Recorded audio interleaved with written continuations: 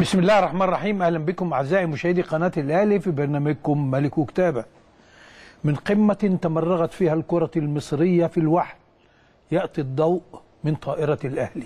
إبراهيم. أهلا بك يا باشمهندس واهلا بكم أعزائي المشاهدين وموعد يتجدد معكم في لقاء الاثنين من ملك وكتابة.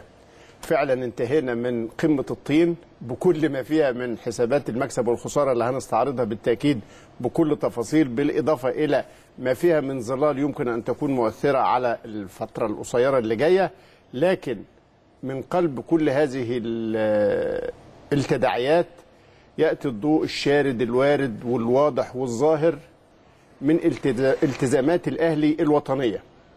وعلى رأس هذه الالتزامات أن يمد الأهلي يده للقارة الأفريقية الشقيقة إلى كل أصدقاء القارة إلى كل أبناء القارة لينبع من قلب النادي الأهلي ومن قلب مصر هذا الهتاف وهذا النداء. أفريقيا قلب واحد على هدف واحد وبحلم واحد يا باشمهندس. وبحلم واحد وأداه ودود يا أهلي. دايما تجده حاضر بالمستوى الذي يليق به وبمصر. يعني أنا فخور جدا باللي بيحصل هذه الأيام في النادي الأهلي. من آه، حراك رياضي آه، جميل جدا. كنت آه، يعني زي زي ال- العشرات من الملايين يأملوا خيرا في قمة كروية ممتعة. الأهلي والزمالك في أحسن حالاتهم الفنية من سنين ما ما توجهوشهم في الحالة آه، الم- ال- ال- المتكافئة ال- الفنية العالية والعناصر اللي يزخر بها الفريقين والأهلي عمال بيتقدم. آه، كنا منتظرين إن يعني القائمين على شؤون الكرة آه، يهتموا نفس اهتمام الشارع المصري بهذه المباراة. لكن يبدو أن الضحايا كان الفريقين والجناه اتفضل مجهول مش معقول. هل الفاعل مجهول؟ لا مجهول ليه؟ مجهول إزاي؟ هل قمة الطين قمة بكل تفاصيلها قدرية نتجت أو تسببت فيها هطول الأمطار؟ ولا إصرارنا الغريب على أن إحنا نلعب المباراة تحت أي ظرف وفي أي مكان بهذه الطريقة؟ من المؤكد أن فيها لا لا لا أنا عايز اقف عند الكلمة دي يا. أستاذ إبراهيم الحقيقة يعني. آه. آه، فكرة إن المباراة تقام تحت أي ظرف وبتاع ده, ده كلام مش صحيح. أيوه. ده إحنا خدنا المباراة لهذا الظرف. بالظبط. إحنا نقينا الملعب. الغير مناسب اطلاقا له- لهذا الظرف ونعلم إن هذا الظرف سوف يحدث. ومن الصباح كان ممكن تدارك الأمر. لم يعبأ أحد بسمعة الكرة المصرية ولا إن هو وقبليها كان في آه، آه، ديربي رائع آه، الناس كلها عمالة تشيد بيه. من التأكيد أن إحنا هنستعرض هذا الملف الكروي بكل عبله لأنه للأسف ملف الكورة كله طين. كل طين من فيض هذا اللقاء ال- الموحل جدا اللي حدث في آه، لقاء الأهلي والزمالك. لكن نقطة الضوء الواردة والوارد والبارزة جدا في تنظيم الأهلي لبطولة أفريقيا للكرة الطائرة للرجال البطولة اللي انطلقت النهاردة بعد النجاح الكبير لطائرة السيدات وبعد تتويج الأهلي ببطولة أفريقيا للسيدات قبل أيام جاء الدور على الرجال عشان ينظم الأهلي هذه الاحتفائية الكبيرة جدا بالأشقاء الأفارقة وينطلق من قلب النادي الأهلي هذا الهتاف وهذا الحلم الواحد لأفريقيا. متسقا الأهلي في أهدافه الوطنية الكبيرة مع التوجه العام لمصر في هذه الفترة اللي رجعت تقود القارة الأفريقية. مصر ترأس الاتحاد الأفريقي في هذه الدورة. الرئيس عبد الفتاح السيسي يرأس هذه الدورة. فلما مصر تتجه بكل ثقلها وبكل قيمتها وبكل تاريخها نحو قارتها الأفريقية تكون يد الأهلي الرياضية ممدودة إلى الأشقاء الافارقه. من المؤكد إنه المشهد الأفريقي فيه تفاصيل كتيرة معنا على الهاتف الدكتور مهند مجدي عضو مجلس إدارة النادي ورئيس اللجنة العليا المنظمة للبطولة. دكتور مهند أهلا بيك. أهلا وسهلا أستاذ إبراهيم و- واهلا أستاذ عادل القيعي ووحشنا جدا والله ابننا ال- الجميل اللي مشرفنا واللي بيمثل لي مفاجأة سعيدة جدا كل مرة يتصدى للعمل آه، يعني كيف جاء هذا اليوم؟ الله يخليك يا باشمهندس محمد. آه، عدلي أنا طبعا آه، يعني سعيد جدا بكلام حضرتك وإحنا طبعا بنتعلم منكم. يعني إحنا كلنا اجيال متواصلين وحابب طبعا أشكر ناس كتير جدا هي اللي وصلتنا للمرحلة دي على رأسهم طبعا. الكابتن محمود الخطيب ومجلس الإدارة اللي فعلا كان داعم لينا بشكل كبير وفعلا بي آه، لينا كشباب إن إحنا نبدع وإن إحنا نبتكر وإن إحنا آه، نقيم آه، شغلنا وبعد كده نرجع نصلح تاني. ف يعني بشكرهم كلهم جدا طبعا والحمد لله ردود أفعال ال- الناس على اليوم النهارده وعلى الافتتاح بت- بتخلينا ننسى التعب والمجهود اللي إحنا كنا فيه الفترة اللي فاتت. وربنا إن شاء الله يكلل مجهودنا بالتتويج بإذن الله إن شاء الله يوم 10 إبريل إن شاء الله آه، كم فريق اشترك يا دكتور مهند؟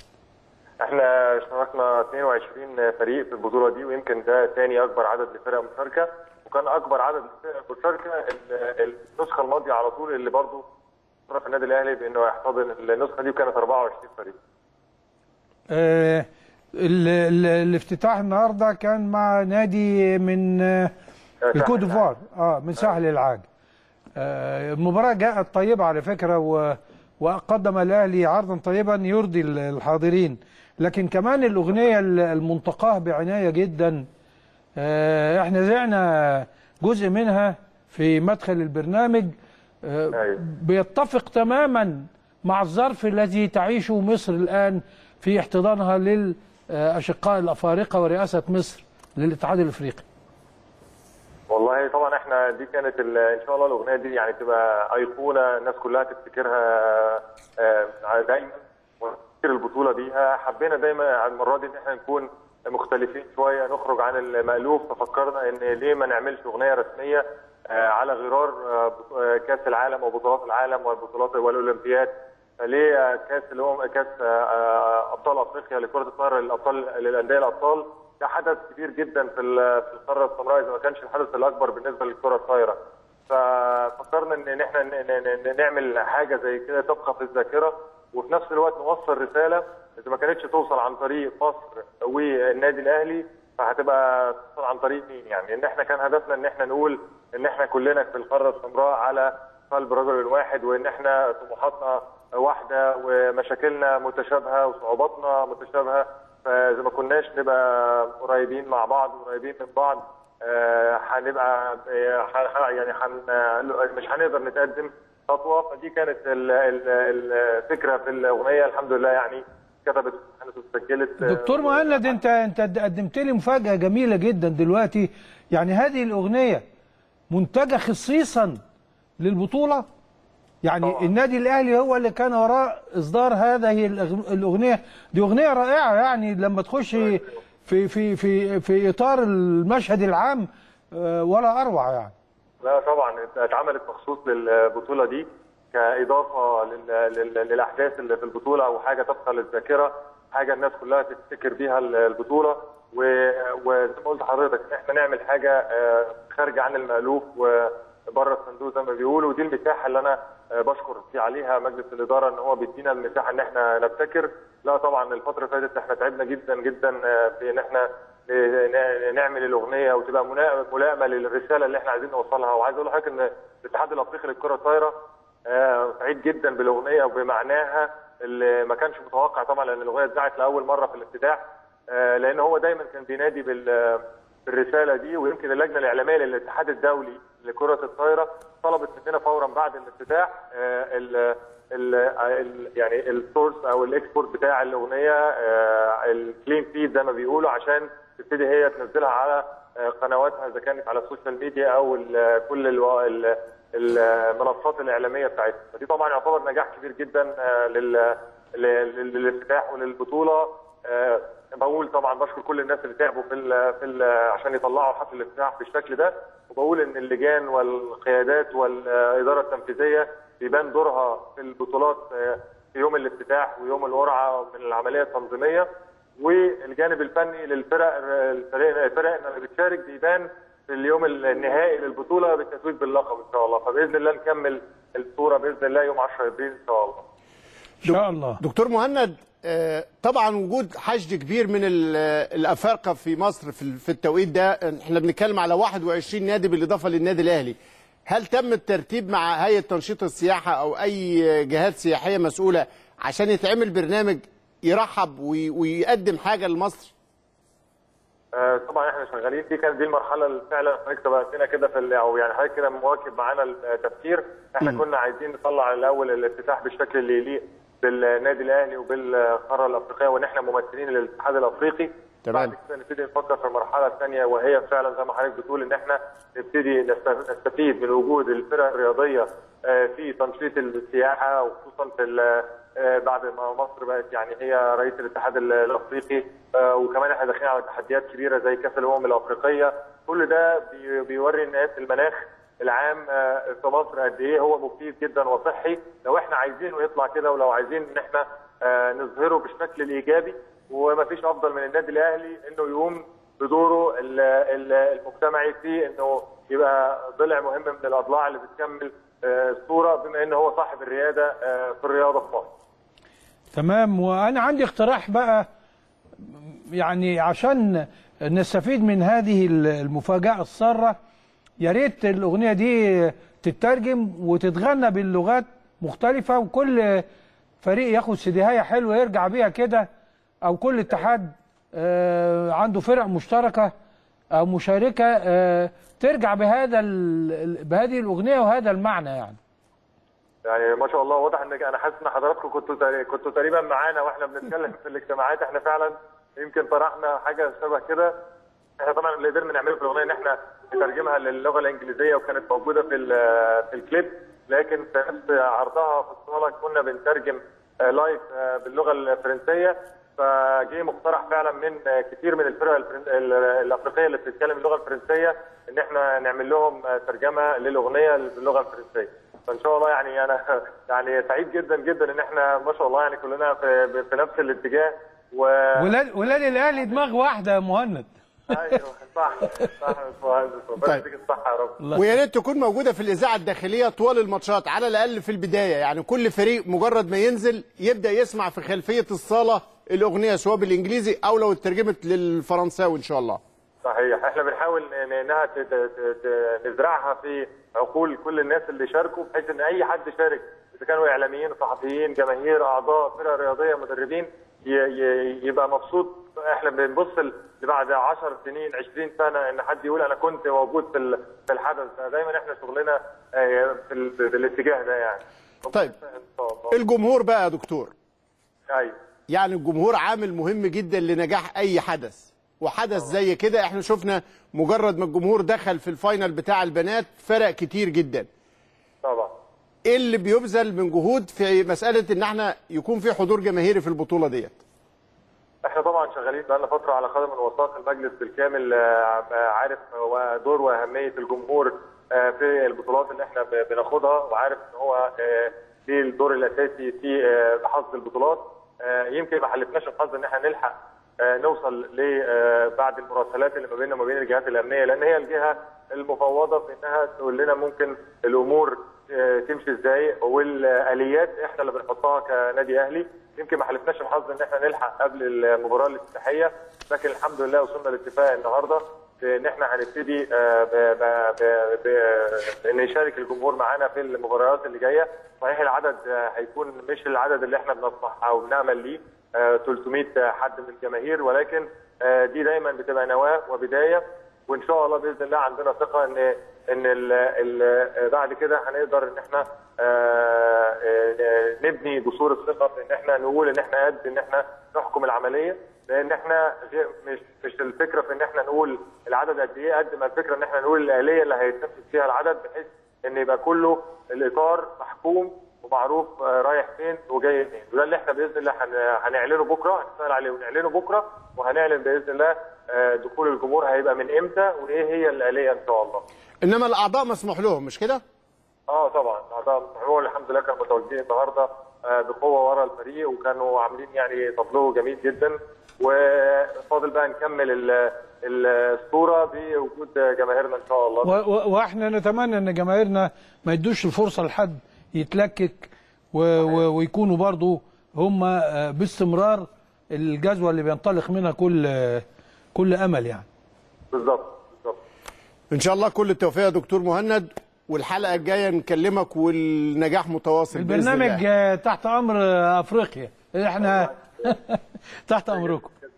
جدا ليكم بجد. أهلا بك بالتوفيق شكرا جزيلا للدكتور مهند مجدي عضو مجلس إدارة النادي ورئيس اللجنة المنظمة لبطولة أفريقيا للكرة الطايرة للرجال وأعتقد جزء من الأهداف أنت دايما بتنادي بيها بس جزء من الأهداف للأحداث الكبيرة أنت بتتسق مع الأهداف العامة للدولة بتقدم دورك الوطني المهم جدا بتفعل وتنشط علاقاتك مع الأشقاء وبتقوم بدور مهم جدا في تنشيط السياحة الرياضية لمصر في الفترة ديت. أنتم متخيلين 21 نادي أفريقي ببعثاتهم بأجهزتهم بإعلامهم يكونوا موجودين في وقت واحد. بعد أيام قليلة من نفس الحدث للبطوله الطايرة للبنات. مثل هذه الأحداث بالإضافة إلى ما تقدمه من دعم حقيقي لأهداف الرياضة ودور مصر الكبير في أفريقيا هي كمان بالنسبة للنادي الأهلي الأهلي بيصنع كوادر. لاحظ إنه الاثنين رؤساء اللجنتين على التوالي من أعضاء المجلس تحت السن. وقبليهم السنة اللي فاتت الجرح والضماطي وبرضه شوف آه. مؤكد مؤكد. مؤكد ولا مهند؟ مؤكد إن ال ال ال ال أصبحت استراتيجية. أيوه. سياسة. واضحة المعالم. للمجلس إنه آه. يخلق كوادر. انه انه إنه بيتيح الفرصة. هو الكوادر يبدو إن هي موجودة. بالظبط. يعني مخلوقة. آه. بس عايزه عايزة كانت تعبر عن نفسها. أيوه طب اسمع الحوار ده واسمع آه، يعني هات لي واحد بقاله سواء المهندس سراج لما جه معانا أو الدكتور مهند وهم يتحدثون عن المسؤوليات المسؤوليات. ال- ال- بتاعة الرياضة والمسؤوليات اللي هي تهم الدولة وتهم مصر. أها.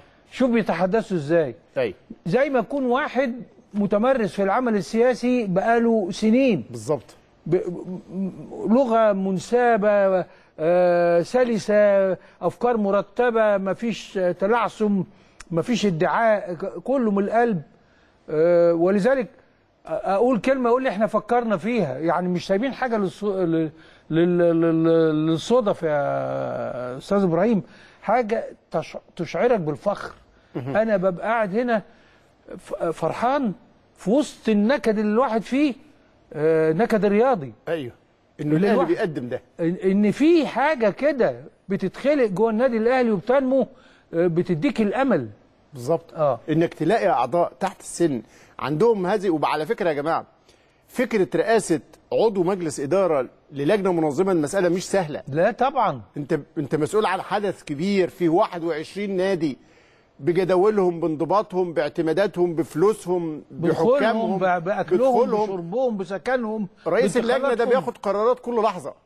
في كل مشكلة بياخد قرار. فانتم متخيلين انه بيقود حدث كبير في هذا العدد من الفرق هنا في وقت ضيق؟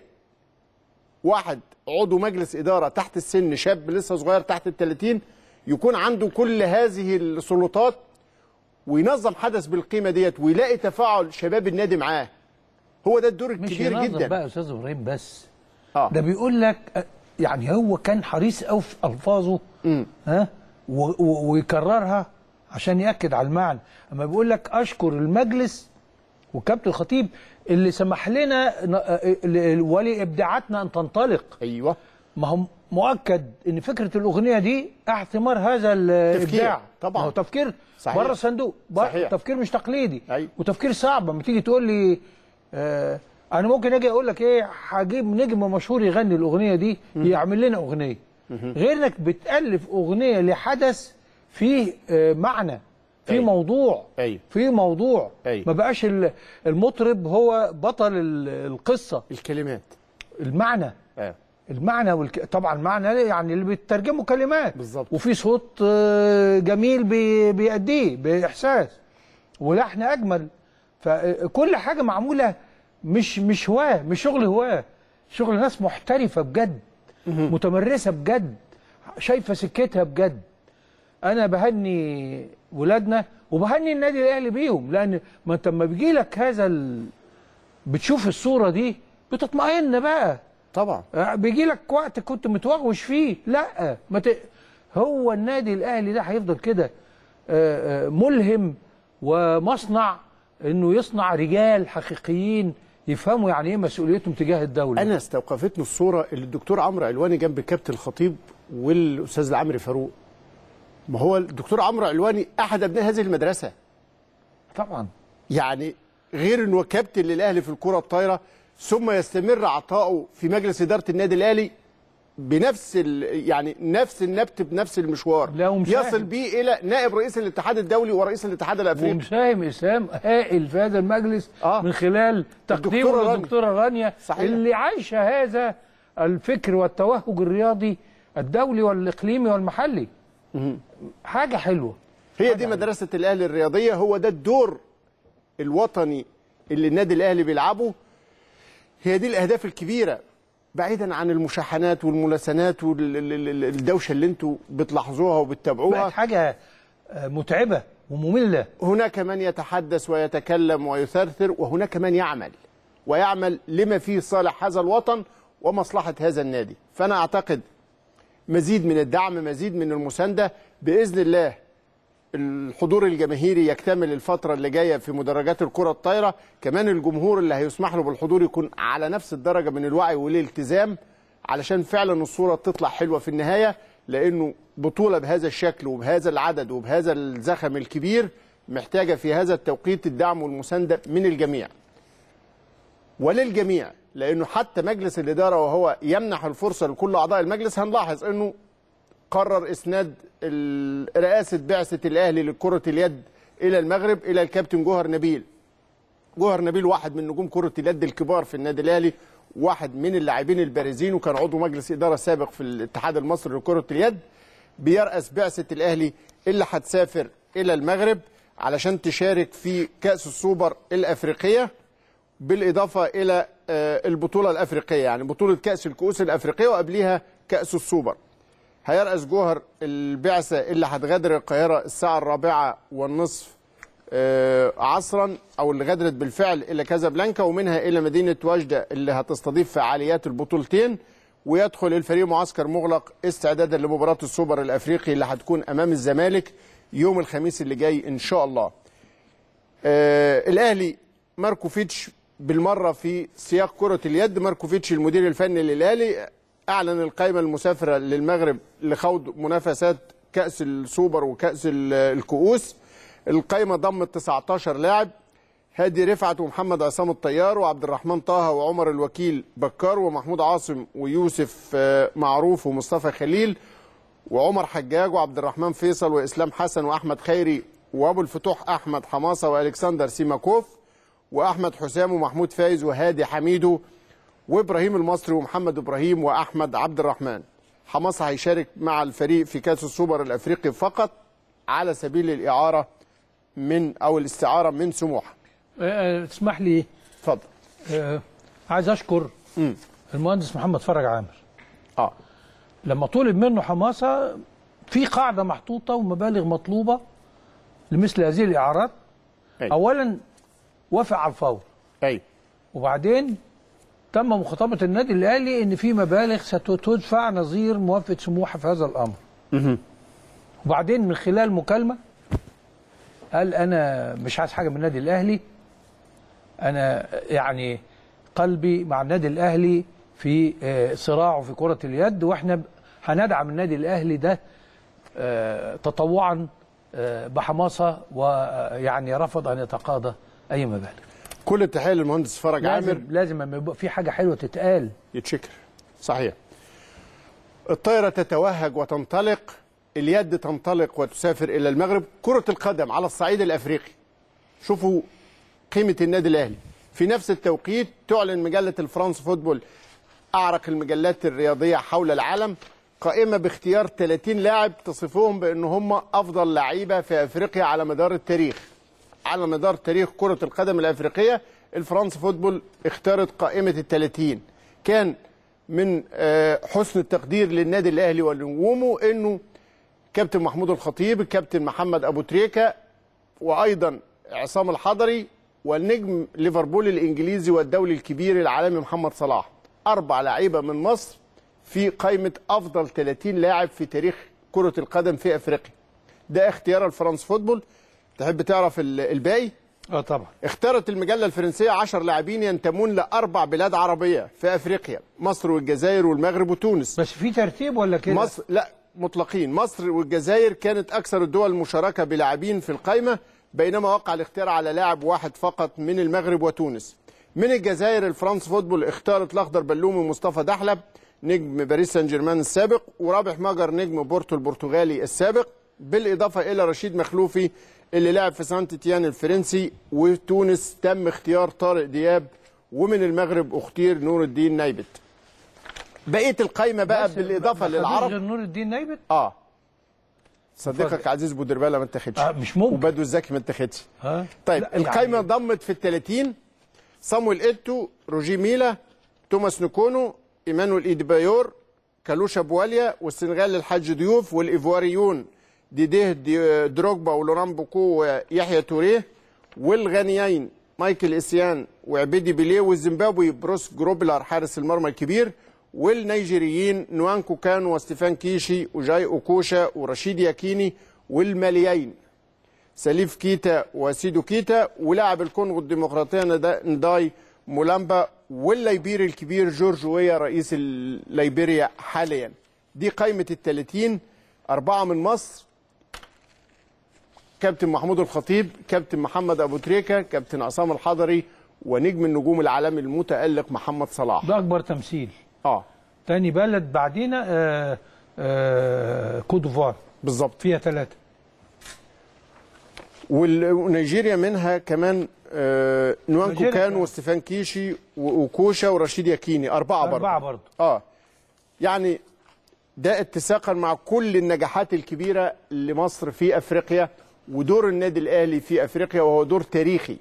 لما نبص على نشأة الاتحاد الأفريقي ودور رموز الكرة المصرية الأهلاوية ودورهم في تأسيس الاتحاد الأفريقي ونجاح البطولات تباعا هنعرف قد إيه جذور الأهلي ممتدة في أعماق هذه القارة العافية بإذن الله تعالى. المهندس عدلي أشار في البداية إلى ملف الطين واللي حصل في مباراة ال- القمة. الأهلي خلاص فرغ منها وبدأ ينظف هدومه وبدا يشيل آثار هذه المعركة وبدأ يدخل سريعا في مود الاستعداد لمباراة مهمة أيضا مع الاتحاد السكندري. هتكون بكرة إن شاء الله في نفس الملعب. ولنا عودة على نفس الملعب. لكن كمان بعدها على طول ظهر اليوم التالي يوم الأربع يطير فريق الأهلي على متن طائرة خاصة. إلى أقصى الجنوب في القارة للقاء سان داونز الجنوب أفريقي في دوري أبطال أفريقيا على متن طائرة خاصة باشمهندس لراحة اللاعبين واختصار الوقت. رئاسة البعثة الدور ده آه خبرة بقى. آه. خالد الدرندلي أيوه.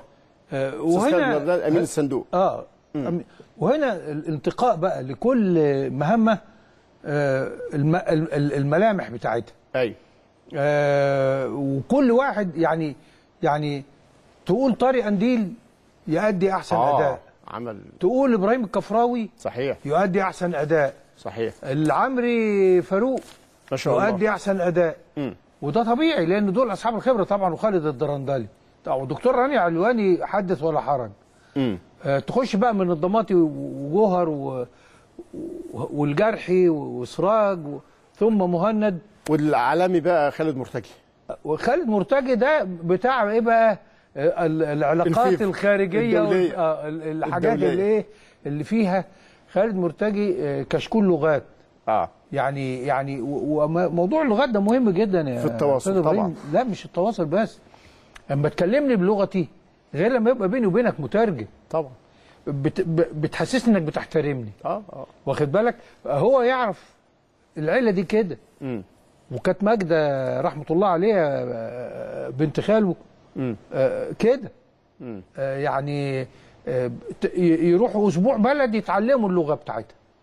فهم عندهم موهبة حفظ اللغات أو التحدث باللغات تنوع رائع جدا في مجلس إدارة النادي الأهلي ولذلك تجد تجد التناغم دلوقتي بالذات في أحسن صوره كل واحد بياخد على. قلب رجل واحد سياسة واحدة بامتياز. كل مع بعضه طلع كلام كتير لكن أدي إحنا شايفين المحصلة محصلة إنشائية هايلة مالية هايلة رياضية بتتحسن جدا وهتبقى هايلة بإذن الله. آه خبرات حدث ولا حرج. آه يعني كل شيء الحقيقة هدوء. هدوء. أيوه. أيوه. هدوء وتحمل. اتحمل كتير المجلس. يعني صحيح. في كلام كتير آه، غيرهم كان يطلع ويرد وعلى فكرة الشتيمة أسهل حاجة. أيوه وده إحنا شايفين ساعة ما بيحصل شتيمة كله خسران. أيوه الكل خسران. أيوه فالكسبان الوحيد اللي ما بيردش زي النادي الأهلي. صدقني يعني. طيب كابتن سيد عبد الحفيظ مدير الكرة بيأكد على إنه شهر إبريل هو الشهر الحاسم وبيقول في هذا الشهر من المباريات سواء للأهلي في الدوري أو في البطولة الأفريقية ما يمكن حسم الكثير من المنافسات المهمة جدا. عشان كده في تركيز شديد وفي محاولة للاستفادة من كل العناصر المتاحة اللي متسجلين في أفريقيا. طبعا هيكونوا مسافرين مع الفريق واللي مش مسجلين في أفريقيا هيكون الاستفادة منهم هنا في الدوري. آه، مارتن لاسارت المدير الفني عمل محاضرة لمباراة الاتحاد. طبعا بيخرج اللعيبة من mood مباراة القمة وكل التركيز في الفترة اللي فاتت والكل بيدخل في التركيز في مباراة الاتحاد السكندري. وما أن يفرغ منها حتى يدخل في أجواء التركيز الأفريقي. هي دي اللياقة الذهنيه الذهنية النشطة وهي ديت القدرة على إنك أنت إزاي تقدر تتأقلم مع كل حدث يتقاطع مع حدث تاني تفضل تفكر في الدوري وتطلع من الدوري تفكر في المنافسة الأفريقية وكل معترك من دول له طبيعته وله ظروفه وله معطياته المختلفة لكن لاسارتي بيجهز كل اللاعبين يمكن شايفين حتى اهتمام بصالح جمعة مباراة القمة اداله جزء و أنا قلت لك إحساسي إنه كان يقدموا في هذه المباراة. صحيح. ويبدأ إن شاء الله يركز يستفيد منه ومن كل اللاعبين المتاحين. النهارده أيمن أشرف نجم الدفاع المتألق الحقيقة خرج من المعسكر في راحة لأنه عنده آلام في الظهر. يتم تجهيزه بإذن الله علشان يسافر مع البعثة يوم الأربع إلى جنوب أفريقيا. آه، فريق كرة السلة للرجال جاهز للفصل أمام سموحة غدا إن شاء الله. وهو ده اللي بس عايز اتوقف عند عند كرة السلة. أيوه. هو المباراة سوبر رايح جاي. أيوه. خسرنا على ملعبنا. مم. وخسارة كبيرة. مم. الكل تصور إن الفريق آه، يعني استسلم. أيوه. فروحنا كسبنا. فوز صعب جدا آه، في اسكندرية. المباراة القادمة بقى هي هتكون المباراة الفاصلة التي نتمنى لكرة السلة إنها تفوز بيها فتجمع بين المرتبط والسوبر في إطار تقديم الأهلي لنماذج وكوادر الحقيقة أنا بكون سعيد جدا لما ألاقي لعيبة كورة من ولاد الأهلي عندهم هذا النضج البارز جدا لأن هي دي كوادر المستقبل. كنا سعداء جدا بتجارب حسام غالي وتجارب عماد متعب وتجارب سيد عبد الحفيظ ومحمد فضل وكل نجوم الكورة اللي تشعر إن هم على الطريق. قريت حوار مهم جدا لشريف إكرامي في المصري اليوم في جريدة الوطن النهارده. أشعرتني إن هو واحد من الأهلاوية. قوي اللي جاي. إن شاء الله طبعا ربنا يديله صحة ويوفق ويلعب أطول فترة ممكنة يزود فيها عن عرين الأهلي. لكنه شوفوا بقى مشاعر الأهلاوية في كلمات شريف إكرامي. غيرته على الأهلي في كل كلمة هتلاقوها في هذا الحوار. قال شريف اكرامي ضمن ال- ال- العناوين ال- الرئيسية في هذا الحوار المهم القمة ما اتلعبتش. رأيه. ماتش لسه ما اتلعبش. اللي حصل ده حاجة تانية خالص. قال طبعا لن أرحل عن الأهلي مهما طال جلوسي على الدكة. وقال التعادل أفاد الزمالك وأضر الأهلي. قال لاعبونا غير معتادين على اللعب في الأجواء الممطرة. الملاعب تحتاج لمواكبة الطرق الحديثة. من غير المعقول أن نكون في عام 2019 وتخرج مباراة بهذا الشكل؟ قال من يردد أنه الحارس الأول واهم وينكر حق الآخرين والبعض يسعى للتشويه لأسباب شخصية دون سبب واضح. هفواتي داخل الملعب لا تزيد على 10 أخطاء في أكثر من 300 مباراة.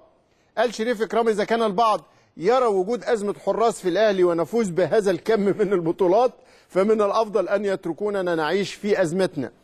ولم أنضم لقائمة المونديال لا مجاملة ولا بالصدفة.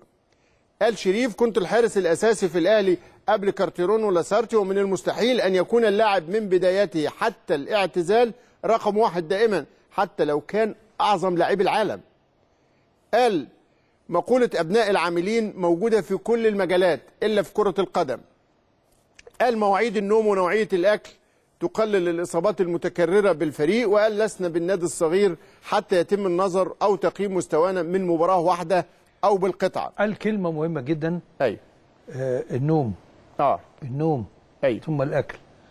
النوم يا أستاذ إبراهيم كنت في حديث مع الكابتن عبد الصالح الوحش مرة. أنا ليه بتوقف عند دي لأن إذا كان في أشبال بيسمعونا النهارده أو لعيبة كرة صاعدين أو حد ما عندوش خبرات يفهم هذا الكلام. فكان بيكلمني بقول له إيه عدو؟ آه اللاعب. آه يعني كنت متصارحه يقول لي إنه يعني المشي اللي مش كويس يعني. قال لي السهر. السهر. السهر آه علميا أنا درست دي بقى. يعني يعني إن في عملية البناء والهدم. أي. الهدم يتم وأنت صاحي. يعني تعمل كده خلايا بتموت. عشان ترجع تتجدد بتتجدد وانت نايم. آه. فلو نمت قليل جسمك لا يستعيد نشاطه لأن كل الخلايا التي استهلكت أو أنت لو في مرحلة نمو ما مش هتنمو النمو اللي جسمك محتاجه. فالموضوع خطير. السهر عدو اللاعب رقم واحد. صحيح. قال شريف إكرامي في حواره مع الوطن ودعم مصطفى شوبير وأشعر بأنه سيلعب في أجواء صعبة جدا جدا ومن يكرهون والده سيهاجمونه بشدة. وأبلغته أنه سيكون مستقبل حراسة المرمى في الأهلي. فات في المشاوير دي هو. آه طبعا. نفس الظروف. قال شريف اكرامي رمضان صبحي تعرض للظلم في الدوري الإنجليزي بسبب محمد صلاح. لم أتدخل في عودته للأهلي ولو كنت رافضا للأمر بحكم انه زوج شقيقتي لوضعت العراقيل أمامه. وسأكون سعيدا لو أصبح ياسين ابنه حارس مرمى. شهادة لله. يعني أنا لما طلبت الكابتن شريف قلت له عايز أتواصل دلوقتي حالا مع رمضان عشان كذا كذا كذا. في ثانية يعني قال لي اقفل هيخلي رمضان يطلبك حالا. فلا ما كان ما كانش كان ممكن يقول لي حاضر هجيب لك النمرة وبدور عليها. لا في أقل من دقيقتين كان كابتن رمضان بيكلمني. بيقول الإعلام حاليا شخصنه والموضة أن يكشف الإعلام عن انتمائه للأهلي أو الزمالك دون استحياء على عكس الماضي. قال أنا في غنى عن الدفاع عن نفسي والرد على الانتقادات وفي النادي اللي بيطلع ودانه وتركيزه خارج سور النادي لا ينجح. وده دعوة منه للتركيز بشكل واضح جدا لكل لاعب في مهامه. لو ما كانش كده ما كانش الأهلي تاريخيا عمل اللي عمله. ومن ضمن الحاجات التاريخية على ذكر التاريخ وأهميته ال- الأستاذ خالد أبو العيون واحد من الموثقين والمؤرخين الجيدين والواعيين في تاريخ كرة القدم المصرية قال إنه في موسم 25 26 في دوري القاهرة اكتشف الراجل مباراة مهمة فاز الأهلي فيها على الزمالك 6-0 نسمع الأستاذ خالد أبو العيون في أون سبورت. في لقاء يعني يمكن الناس عارفة إنه في ثلاث ستات حصلوا. الستتين بتوع الزمالك في الأربعينات والستة بتاعت الأهلي في الألفينات. لكن في حاجة تانية قبلهم. هو الحقيقة في موسم 25 26 في دوري القاهرة. والحقيقة ما كنتش عارف حاجة عن المباراة دي لغاية ما آه، كنت بدور في دار الكتب في جريدة اسمها الألعاب. مم. آه، سنة 26 والجريده حتى ما كانتش كاملة. مم. ولكن وجدت في أحد أعداد الجريدة جدول بنتائج مباريات الفرق مع بعض في دوري القاهرة ففوجئت إن الأهلي غلب الزمالك 6-0 مم. في أحد المباريات. في العشرينات. في العشرينات موسم ماشي. 25 26 حلو. حاولت إن أنا أوصل لأي تفاصيل زيادة مين اللي سجل؟ مين عمل؟ ما فيش حاجة. أي حاجة تاريخ المباراة ما فيش خالص. مم. ويبدو إن الجرايد في الوقت ده ما كانتش بتهتم قوي بالموضوع الأهلي والزمالك وكانت بتهتم أكتر بحسين حجازي أبو الكره المصرية. طبعا. يعني الناس معنية قوي تلم من نفسها هذا الكلام لكن أنا يعني هو مهم من باب التوثيق التاريخي. لكن مش عايزين أهميته تكتسب من التحفيل على بعض. طبعا. أنا ما بحبش فكرة التحفيل خالص وبشوفها آه، ضارة جدا. ويعني بالمناسبة يعني مش عارف أنا هقولها يعني لأني يعني حملت إن أنا أقول هذا الكلام. آه الله أعلم بالحقيقة فين لكن آه ناس كتير جدا من كفر زيات بلدك. بلدي آه وفي منهم شخصية زملكاوية عنيفة. آه، بس أنا بثق فيها وهو بيتواصل معانا هنا ساعات في البرنامج. قال لي يا عدلي ما ال- الخناقة دي اللي حصلت في كفر الزيات اللي هو شاب آه، زملكاوي قتل طعنا من حد بعد مباراة القمة. ما ما لهاش فالناس علاقه فسرتها إن ليها علاقة بالماتش. بس هو بيؤكد لي إن إن ما لهاش علاقة آه، يعني الخناقة ما كانش ليه علاقة بالماتش وإن هم من مش زمان لأسباب الكورة خالص. لا هم من زمان بينهم آه، توترات يعني. يعني يعني ك- كان في حاجة خلت إن آه، يعني الاعتداء ده يتم في اللحظة دي بالصدفة مع المباراة. أنا لا أؤكد على أي معنى بس بقولها عشان إذا كانت تنزع فتيل معين في اللحظة دي إذا كانت هي دي الحقيقة ونبرأ كرة القدم من مثل هذه المشاهد ال- ال- ال- ال- اللي مش عارف أوصفها بإيه. لا هي يعني كلمة شاذة مش كفاية كلمة بغيضة مش كفاية. ما يبقاش كرة القدم ساحة للموت ابدا. نتمنى ده نتمنى لأنه الحقيقة الأمور كتير لما بتخرج عن الإطار وعن الحد وعن الروح الرياضية. وإحنا هنا في قناة الأهلي أعتقد مش بس في ملك وكتابه في كل البرامج. حريصين على المزيد من دعم هذه الروح. وعلى ذكر القناة بالمناسبة بنقول للدكتور محمد العدل المشرف العام على القناة ألف سلامة ليك. النهارده تعرض لوعكة صحية أصيب فيها في كتفه. ما صدقنا اللعيبة خفت. الدكتور محمد العدل هو, اللي بيتعور. بيتابع في في إجراءات الحفل آه. والحفل الافتتاح. انزلق قدمه وقع على كتفه. آه، حصل ديسلوكيشن أو خلع في الكتف. هي هي مؤلمة ومؤلمه. هي بسيطة آه. بس هو طبعا آه، آه، عمل عمليه كده خدت 20 دقيقة وروح يرتاح كل الأمنيات الطيبة لمحمد العدل محتاجين آه، مجهوده الكامل ونشاطه الوافر ودماغه المصحصحة بإذن الله نطلع لفاصل وبعد الفاصل نشوف قمة الطين حسابات المكسب والخسارة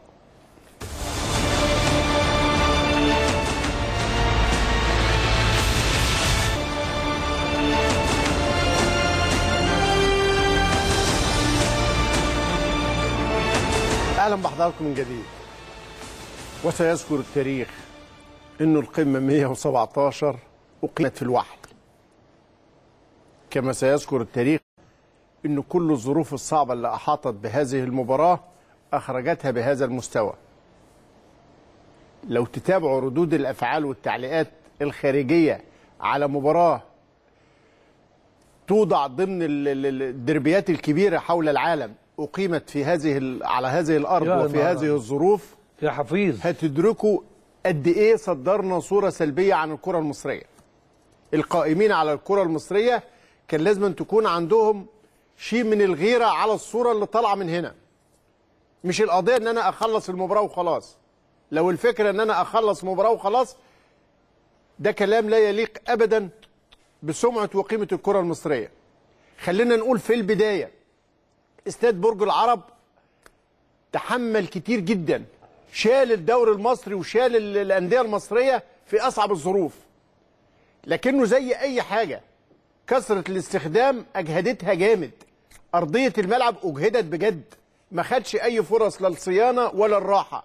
فكانت النتيجة إنه وأنت حريص وأنت مصمم إن أنت تلعب عليه يتحول لحقل بطاطس أو غيط رز زي ما الناس سمته أستاذ إبراهيم. بهذا الشكل.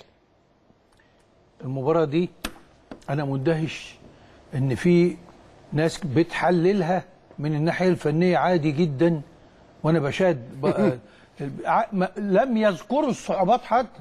آه. بيذكروا الأداء وبيذكروا. أنت عارف إن المباراة دي فيها ضحايا؟ أول ضحية لهذه المباراة الفرقتين. امم تاني ضحية الجماهير اللي كانت تنتظر المتعة ووجدت العذاب.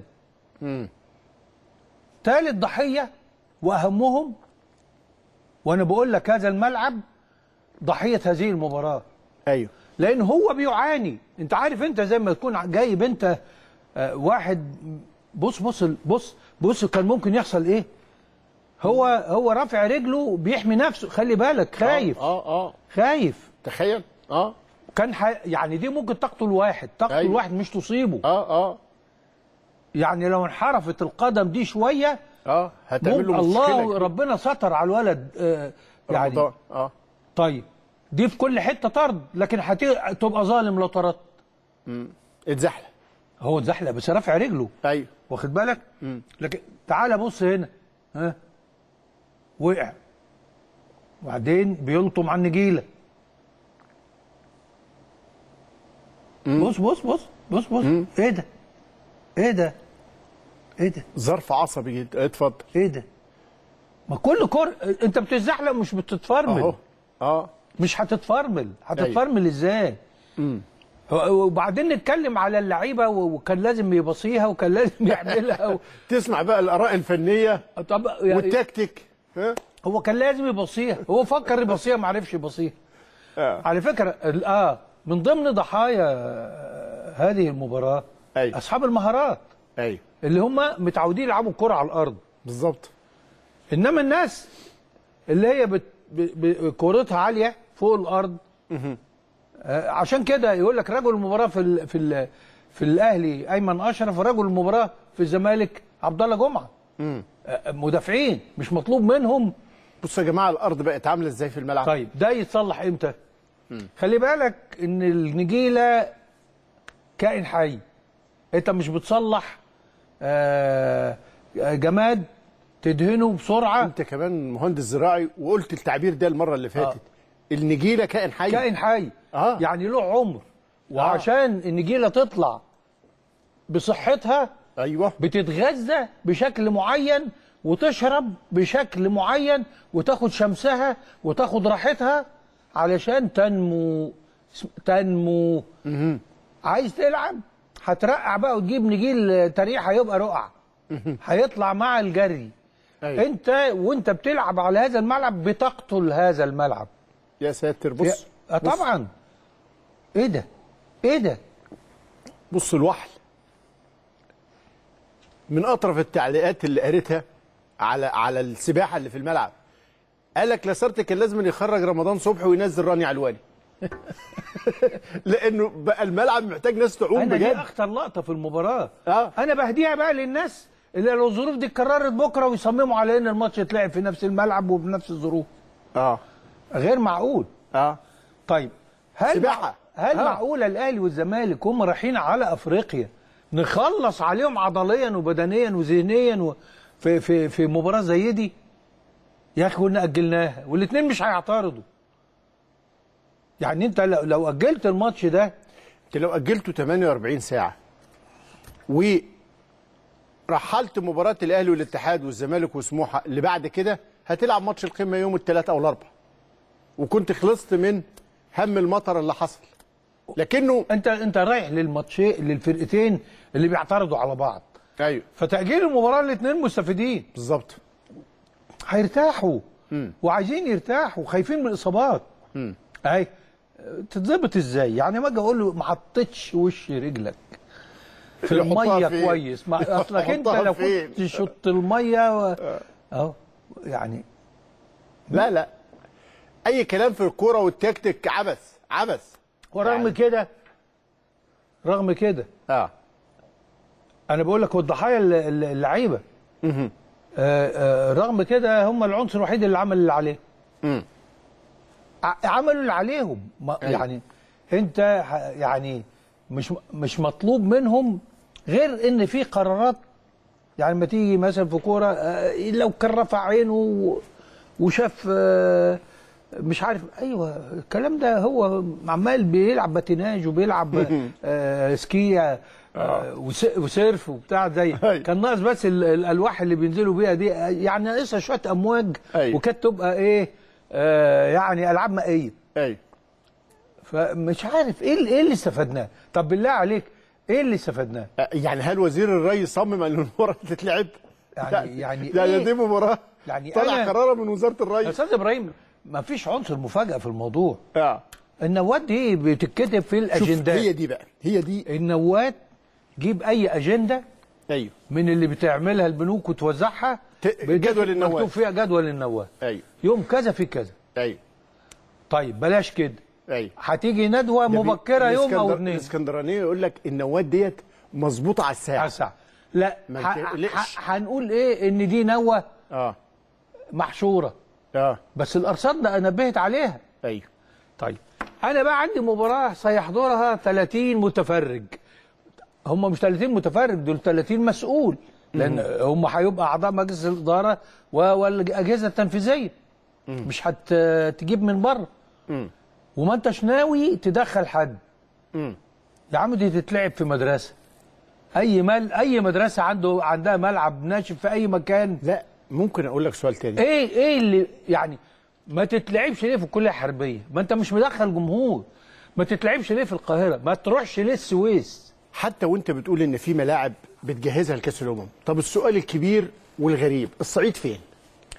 اسوان أيوه. خد الفرقتين في اسوان قول لي بقى إيه المانع إن أنت تروح تلعب في اسوان ما هو اللي هيوديني آه، برج العرب لو ركبت الطيارة هروح اسوان خلاص ما هياش فارقه آه؟ ما هياش فارقه وقبل كده آه، أسوان شافت مباراة و- وشعب مستني ال- الكورة و... وهم بيروحوا أسوان ويروحوا الصعيد لما يكونوا محتاجين أصوات الصعيد في الانتخابات. وبعديها خلاص. آه، يسقط يعني الجنوب خالص أنت واقف من أي؟ اهتمامات لاتحاد الكورة. طب تفكر إزاي وتركز إزاي؟ آه. أنا مستغرب على الجمهور اللي راح. قاعد إزاي في الجو ده؟ ده لازم وبعدين هم معروفين واحد واحد. آه، ده كان المذيع المفروض يقولهم في التشكيل. آه يعني نشكر فلان. يحضر المباراة. محمد الحصري ومين ومين مع الأهلي ومين مع الزمالك. آه؟ آه. يعني ده كلام كل ده يدهشك. وملوش إجابة. وبعدين أنت بتقدم صورتك ك ك هنيجي هنيجي على تفاصيل الصورة السلبية لأنه الحقيقة من من سوء البخت بقى. من سوء البخت. إنه قبل هذه المباراة بيوم تكون قمة ال- ال- ال- الكرة السعودية الهلال والنصر. فلاقي المدرجات مليانة العوائل السعودية اللي سمع بحضورهم للمباريات مالين الملاعب. ألاقي ال- ال- النقل التلفزيوني العالي جدا ألاقي الملاعب المبهرة قوي والاقي مستوى الكره العالي جدا. إحنا كان عندنا فرصة إن الأهلي والزمالك بالذات في المرحلة دي زي ما المهندس عادل قال في درجة عالية من الندية في وفرة مميزة من اللعيبة المهارية اللي موجودين في الفرقتين. لعيبة كورة. في دوافع. في دوافع متكافئة بين الفرقتين. في إدارة فنية اورو لاتينيه زي ما اتقال للفرقتين. كل الظروف مهيئة إن إحنا نقدم صورة حلوة عن الكرة المصرية. إن إحنا نحط ال- الكلاسيكو المصري في القيمة والمكانة اللي, اللي يليق بيه. كان عندنا بدايل كتيرة جدا. كان عندنا آه، حلول كتيرة جدا غير إن أنا أفضل مصمم على إن أنا هلعب المباراة وهلعبها في برج العرب. أنا بلعب بدون جمهور. ما دام بلعب بدون جمهور عندي بدايل كتيرة جدا بقى. أروح استاد أصل. ده بدون جمهور بمعناه يعني كان بيقول لك 500 و500 لا ده ده, ده ده بدون. قلت 15 و15 آه أروح السويس أروح الكلية الحربية. لا أروح أسوان. أو أروح أسوان. أروح. والله فكرة كانت هايلة. والمباراة أساسا أنت بتلعب بالليل ما عندكش أي سبب يخليك ما تروحش أسوان. ليه ما تروحش أسوان؟ مش محتاجين أصوات الصعايدة دلوقتي. مفيش انتخابات في اتحاد الكورة. فخلاص الجنوب ولع. أروح على الملعب الذي يعاني واللي مقفول للاصلاح. ما ادلوش فرصة وهو في النقاهة.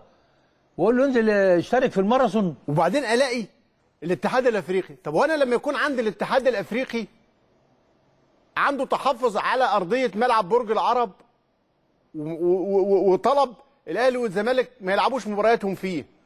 لأنه شاف ان الملعب اجهد. استاد كبير كنا بنفخر بيه. هم عامل الأهلي والزمالك مع بعض فيه. الاتحاد الأفريقي بيقول لك. لسلامة اللعيبة ما تلعبش على أرضية زي كده. تصمم إن أنت تلعب فيه. يعني الاتحاد الأفريقي خايف على اللعيبه المصريين أكتر من الاتحاد المصري؟ ده منطق برضه؟ ليه؟ ليه؟ أنا يعني, يعني يعني هو- مفيش مفيش إجابة مقنعة واحدة. المباراة محددة من أكتر من شهر ونص ولا شهرين معروفة 30 مارس. جدول النوات. زي ما المهندس عادل إشار مكتوبة في كل أجندة الإخوة الإسكندرانية حافظين مواعيدها. المهندس عامر حسين رجل إسكندراني وهو صاحب القرار. يعني كل ده معروف سلفا. طيب استجدت خلين المطر عامل مفاجئ خرج بره جدول النوات ليكن. ماشي. ما عنديش أي فرص لحلول؟ أفضل قافل دماغي كاتحاد كورة ومصمم. هي هنا يعني هنا؟ هي يعني جثة ولازم تدفن علشان في الآخر نصدر هذه الصورة السلبية عن الكرة المصرية ويتقال كأس الأمم الأفريقية ومدى الجاهزية؟ يعني هل ده كان في حد عنده درجة من الحرص على صورة الكرة طب المصرية؟ أنا أنا كان فاتتنا دي. أنا كنت عايز أجيب ردود الأفعال خارجية في الإعلام الخارجي. يعني كان لازم نجيبها. هتلاقيها. موجودة. لو موجودة معانا تعالى نركز فيها. موجودة. آه. طيب هنشوف في استوديوهات التحليل زي ما المهندس عادلي أشار هي إيه الفكرة؟ إن الناس تتكلم. الأول نشوف بقى الأستاذ عمرو أديب في إم بي سي مصر رأيه إيه في قمة الطين ديت؟ يوم سعيد ولطيف وجميل وحلو. يوم إيه؟ سعيد وجميل ولطيف وحلو. وخلينا ابتدي في حكاية صغيرة وبعدين عندنا حكايات كبيرة مهمة. الحكاية الصغيرة الأول الكلام عن القمة اللي بين الأهلي والزمالك. عندي سؤالين. يعني مش هتكلم كتير عندي سؤالين بس. السؤال الأول هو مش العالم كله بيبقى فيه مطرة؟ يعني الدنيا بتلعب كورة في المطرة؟ إحنا ليه الملعب بتاعنا عمل كده؟ مصارينه طلعت بره. يعني إحنا بنشوف بره؟ محدش يقول لي لا أصل لا بكلمك عن النجيلة الطبيعي مش الصناعي. عشان بس نخلص من الأول. إحنا بنشوف بره مش مطر سيول. وبنشوف بره تلج. الملاعب ما بيجرالهاش كده. هو الملعب بتاع النهارده ده حصل فيه ده الناس كانت بتلعب في مستنقع. هو حصل فيه كده ليه؟ ده من قبل ما يبتدوا الماتش كان عامل كده. يعني شيء غريب فعلا ويجب أن نفهم. آه طبعا هي دولة ليست مطيرة وليست آه يعني آه أغلب الوقت فيها مطر إنما ده منظر. طب ما إحنا بنشوف ملاعب انجلترا بنشوف ملاعب اسبانيا بنشوف ملاعب ألمانيا بنشوف ملاعب أيسلندا. إيه الحكاية؟ إيه الحكاية؟ إيه الموضوع؟ ليه الملعب جرى فيه كده؟ ليه الملعب مصارينه طلعت بره؟ طبعا سيبكم مستوى المباراة. اللعيبة دي ناس كتير أنا مش مهتم على فكرة بمستوى المباراة لأنه على الفرقتين خلاص. إنما اللعيبة كتير كانت ممكن تتعور. ده نمرة واحد. نمرة اتنين اتحاد الكورة. الأرصاد بقى لها أسبوع. بتقول يوم السبت أمطار غزيرة. يوم السبت أمطار غزيرة. بنحذر المواطنين إنه يا جماعة يوم السبت ال- ال- الطقس هيتغير تاني. يوم الجمعة هيبقى حر ويوم السبت هيتنيل تاني. طب ليه محدش في اتحاد الكورة قرر يأجل الماتش؟ أنا برضو ما بتكلمش على طب تخيلوا مثلا الماتش ده لو بجمهور. لو بجمهور كان هيبقى عامل زي الناس كانت هتتبهدل. يعني النهارده شيء غريب وعجيب ويجب إن إحنا نتعلم منه درس إنه في مطرة أجل الماتش. إيه المشكلة يعني؟ ما أنت مأجل الدوري كله. أجل الماتش أسبوع أربع ده على فكرة بكرة خلاص يعني بكرة ولا بعده الموضوع يخلص. مصر اصلها مش بلد المطره فيها بتقعد كتير يعني. فطبعا النهارده كانت حاجة غريبة جدا والناس بتلعب في أجواء غريبة إنما قدروا لطف يعني حيرت الأستاذ عمرو أديب وسؤاله الذي لن يجد عليه إجابة. آه، هي نفس حيرتنا ونفس دهشتنا. ونفس استغرابنا ونفس فلقتنا. مفلوقين متضايقين. انت عارف كل المعطيات بتقول لك ها المريض ده لو خد بنج هيموت. وانت رايح تشيله إزاي ده؟ ما تأجل. ما تديله أدوية مسكنة. ما هو مهدد. انت عارف وانت بتعمل العملية ما انتش مفاجئ بشيء. أيوه. يعني مسألة ولذلك ردود الأفعال لم- ال- اللي هنقراها دلوقتي هنسردها دلوقتي يا أستاذ إبراهيم هي هي هي هي جت في صدر مين؟ أيوه. جت في صدر المسؤولين اللي شايفين إن الماتش اتعمل في أجواء مثالية. أيوه. ماشي بمنطق أوروبا اللي بقى فيها إيه؟ مثالية. آه. آه، أيوه ما تقال كده. أيوه. آه، هي مثالية آه، إنها يعني ساقعة وفيها مطر. للناس اللي متعوده عليه والملاعب اللي متعوده عليه ومجهزة. إنك بعد خمس دقايق ما تلاقيش نقطة مية. أنا ما شفتش حتى والتلج بينزل إن واحد بيشوط النجيلة بتطلع في رجله. طبعا. ما شفتش واحد وهو بيقع الاستاذ في في في بطن المنافس بتاعه. ما شفتش الكلام ده. ليه؟ لأن ال- الدنيا مهيئة لهذا الأمر. أيوة. لكن لما أنت تبقى ورغم كده بتتلغي لما تبقى الكرة لو نطت تبقى مش طبيعية بتتلغي. يا جماعة ده ده ده, ده إحنا يعني الكرة الشاطئية اللي بتتلعب في الرمل أرحم قوي من المنظر من المشهد ده. طب أنت ال- الفرقتين اللي حيلتك بص البرك آه الراجل شاط الطينه ده كان ممكن يجراها إيه؟ في ركبته بص. آه. لا غير اللقطة اللي فاتت دي. لاعب الزمالك. وهو بيشوط. اهي شوف شوف شوف. كان ممكن يحصل له إيه؟ انكل رجله يتكسر. هي دي؟ الظروف المثالية يا اعضاء اتحاد. الكورة. دي الظروف المثالية اللي اللي القمه أقيمت فيها. اتفضل يا سيدي. ما هو مثالية لو أنت ملعبك آه، بيصفي ميته. مثالية لو المسألة مسألة. ده مثالية لأي حد بيكره مصر. انت قدمت صورة لأي حد بيكره مصر؟ قدمت له. صورة مثالية؟ يا خبر أبيض. إنه يتشافى في الكرة يا المصرية. خبر أبيض يا خبر أبيض. يعني وبعدين انت انت بإشارتك صحيح. هو انت ليه حريص إنك تطلع ملعب مجهد وتعبان ومحتاج إصلاحات رايح ومحتاج رايح؟ له رايح ليه مصمم عليه ده. لو ما فيش مطرة ما تلعبش فيه. ما تسيبه يتصلح. وكان تحت الإصلاح وكا و- وممكن جدا في المرحلة اللي فاتت دي مع شوية المطرة دي وهو كان بوزل فيه مجهود كبير. لا ده بص المطر دي كانت هتديله جرعة صحية. آه طبعا. بس الأرض هتطلع مستوية وخلاص لأنه كان اترمى فيه رملة واترمى فيه و... و... بذلوا فيه مجهود كبير. بذل فيه. مجهود. ضيعته أنت باللعب عليه. ضيعته ده أنت رجعته لأنك أنت بتموت كائن حي تاني. النجيل كائن حي. انت بت... بتموته. مم. عشان ت... يعيش من الجذور اللي حواليه عايز وقت تاني خالص ومناخ تاني خالص. طيب انت أشرت لجزئية ال- ال- ال- الصورة بره بقى. الصورة بره حضرات السادة المسؤولين عشان نعرف مين اللي. خسر من الصورة ضحايا بره إيه؟ من ضحايا من ضحايا هذه المباراة إيه؟ مين؟ إيه الصورة اللي أنتوا طلعتوها دي؟ ليه كده؟ مصر فيها أحسن من كده بكتير جدا جدا. في ملاعب كتيره سيبوا الاستاد استاد برج العرب يستكمل صيانته. سيبوا النجيلة تنمو شوية. هو لو تأجل الماتش ده مين اللي هيعترض؟ ما تنقل. ده الأهلي والزمالك هو اللي تأجل لهم. مين اللي هيعترض؟ وبعدين انت عندك الفرقتين بس أنا ما كملتش الجملة دي يا أستاذ إبراهيم. واحد ماشي كويس في الكونفدرالية والتاني ماشي كويس في آه، دوري الأبطال. وأملنا إن ده ياخد بطوله وعندهم الأسبوع بطولة. الجاي ماتشات. آه. أملنا. آه. واخد بالك؟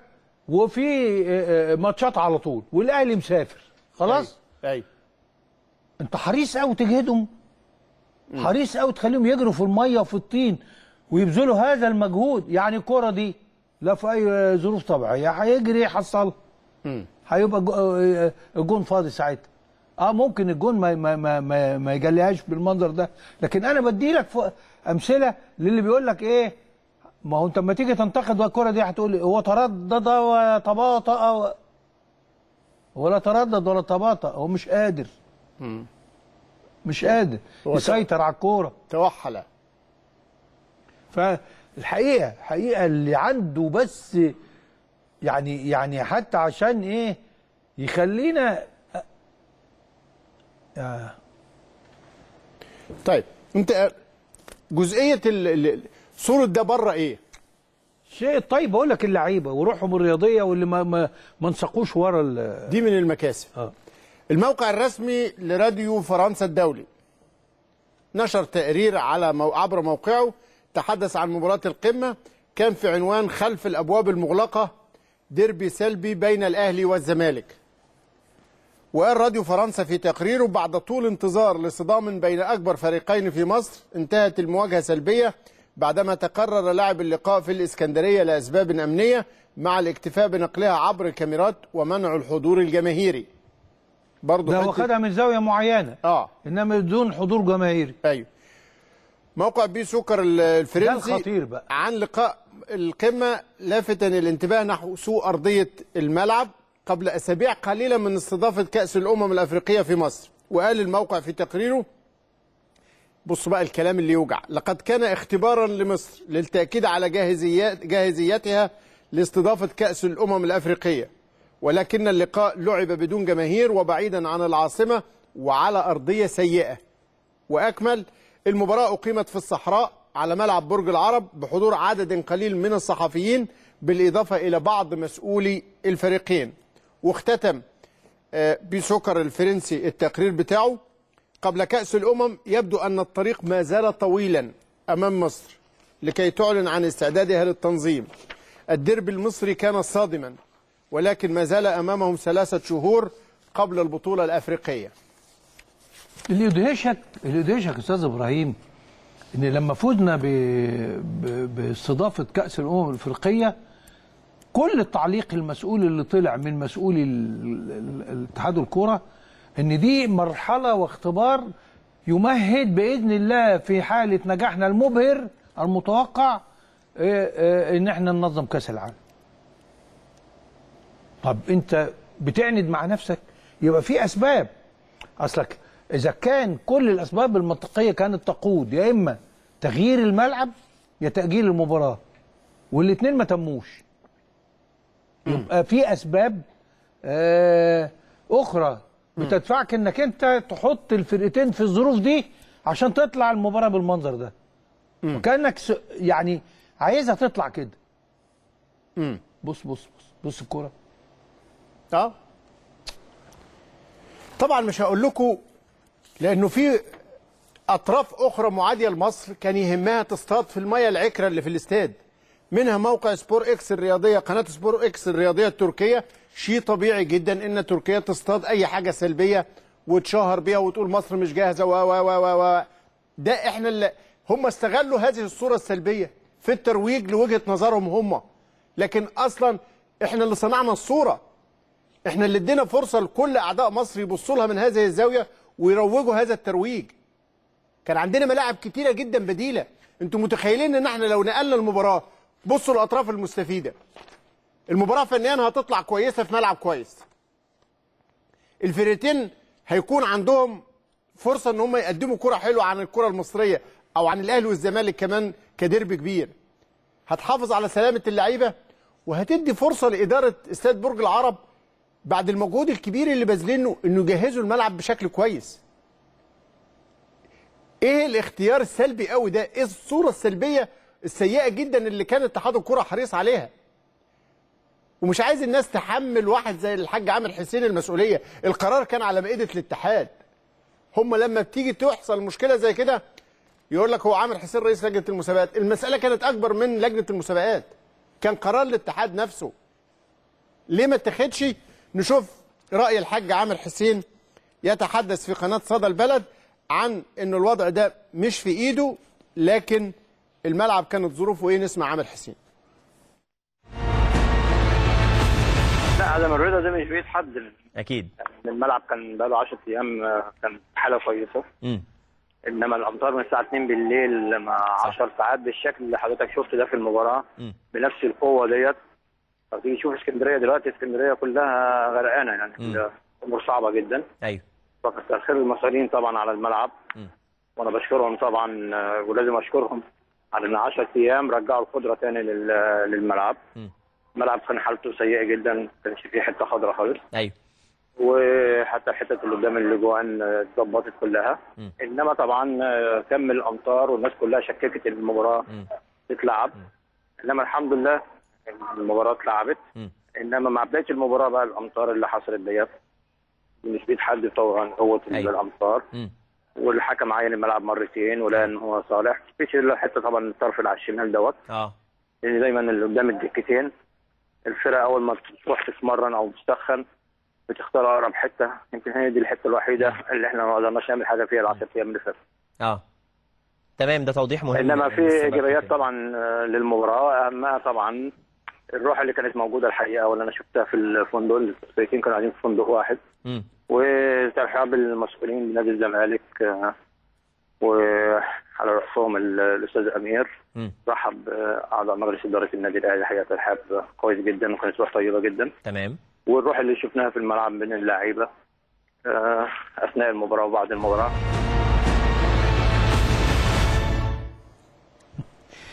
شوف الح- الحاج عامر بيشكر القائمين على آه، الملعب إنه في خلال 10 أيام خلوا الخضار يبان في الملعب. أنا ممكن في خلال 10 ساعات أخلي لك الخضار يبان في أي حتة في مصر على الأسفلت. إن جيل الس- ال- الجاهز قطع. طبيعي. بيركب في دقيقة رولات كده أو قطع. لكن مش معنى كده إنه بقى نجيلة. ده مرصوص. لسه ما تجذرش ما جذوره ما عشقتش في الأرض. ولا أسبوع ولا 10 أيام في البرد ده ينفعوا بحاجة خالص. يعني انت ممكن تلمه ما تلاقيش تحتيه حاجة. ف... فمسألة ان انه بان انه لونه اخضر آه هيبان شكله حلو لكن ما بقاش ملعب صالح للعب. بدليل مع اول رجل بتداس بتطلع القطعة بيها. آه. وكان في ال half time ال... ال... ال...